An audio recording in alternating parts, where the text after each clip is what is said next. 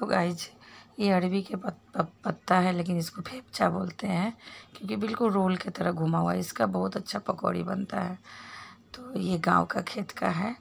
तो इसी का मैं पकौड़ी बनाई हूँ और कैसे बनाई हूँ आप देखिए। और इसे अच्छी तरह से धो ली हूँ पहले बहुत चार पाँच पानी से खोल खोल के इसको सफ़ाई से धोई हूँ। फिर छन्नी में इसको रख के सारा पानी निचोड़ ली हूँ। उसके बाद इसको कट करी हूँ। जितना बारीक कट करेंगे उतना ही अच्छा है, लेकिन चाकू से मोटा कट हुआ है। थोड़ा दराती से या फसूल बोलते हैं, उससे ना बारीक कट हो जाएगा। आप लोग अगर बनाएँगे तो ऐसे बनाएँगे। फिर इसके अंदर ये चना के दाल है, भिगो के रखी थी। उसके बाद उसी के अंदर लाल मिर्च और पीस दी हूँ मैं अच्छी तरह से भिगोने के बाद।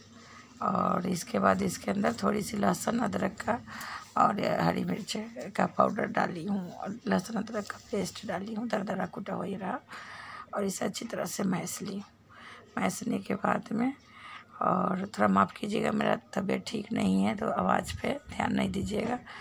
तो ये मैं हरी मिर्च रखी हूँ और हल्दी है, मिर्ची पाउडर है, नमक है और अच्छी तरह से इसे मैस ली और अगर ये अच्छी तरह से लस न ले तो थोड़ा सा इसमें बेसन आप डाल सकते हैं, सूखा बेसन या चना के सत्तू या अरारोट भी डाल सकते हैं, कॉर्नफ्लावर वगैरह डाल सकते हैं, ना कुछ हो तो आटा भी डाल सकते हैं।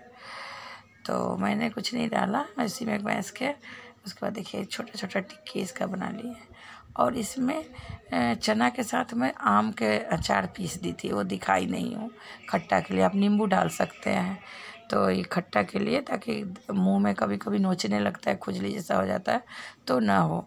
इस वजह से कि कितना टेस्टी